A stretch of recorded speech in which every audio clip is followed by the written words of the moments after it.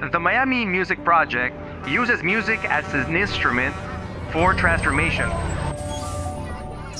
empowering children through music, through learning, through discovering, and it actually makes it accessible for those who need it most. Not only does it transform their lives, the lives of their families, it transforms the lives of our community and ultimately the world.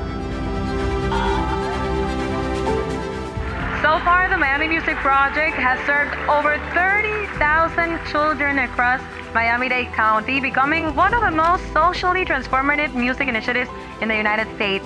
100% of our students have completed high school, and then when they complete high school, 100% of the students have decided to pursue higher education.